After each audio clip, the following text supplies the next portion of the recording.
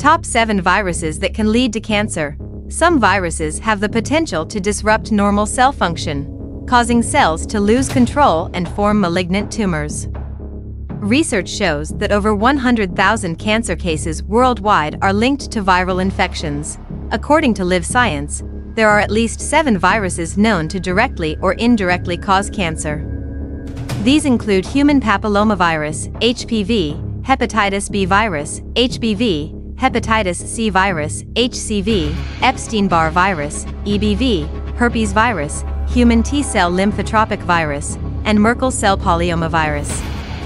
Additionally, human immunodeficiency virus, HIV, increases cancer risk by weakening the immune system, which allows cancer-causing viruses easier access to the body. In 2012, viral infections were estimated to cause 10% of the 1.4 million cancer cases globally. Dr. Jay Berzofsky, a senior researcher at the National Cancer Institute, explains that viruses can trigger cancer through both direct and indirect mechanisms, with each virus acting uniquely. Direct mechanisms. One of the most well-known cancer-causing viruses is HPV, responsible for approximately 37,000 new cancer cases annually. HPV has been linked to cancers of the cervix, anus, throat, penis, vagina, and vulva. Some HPV strains promote cancer by producing proteins that disable the natural tumor suppression systems in healthy cells, allowing tumors to grow unchecked. This enables tumors to grow wildly. Says Dr. Harrys Torres, professor of infectious diseases at the University of Texas MD Anderson Cancer Center, of the more than 200 types of HPV, only 12 are strongly associated with cancer.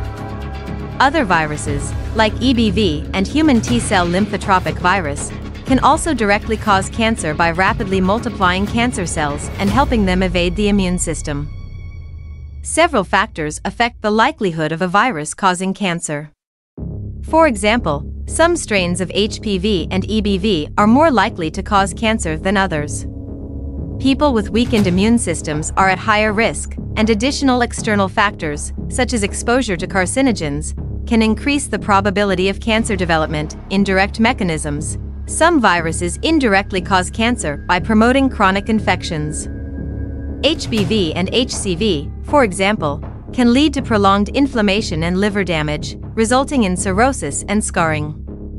Chronic inflammation is highly carcinogenic, explains Dr. Berzofsky as the body attempts to repair liver damage caused by HBV and HCV, newly created liver cells may mutate and develop into cancer.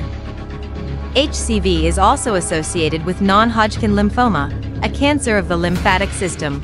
Due to the virus's continual stimulation of the immune system, HIV indirectly raises cancer risk by weakening the immune system, making it easier for cancer-causing viruses to attack the body.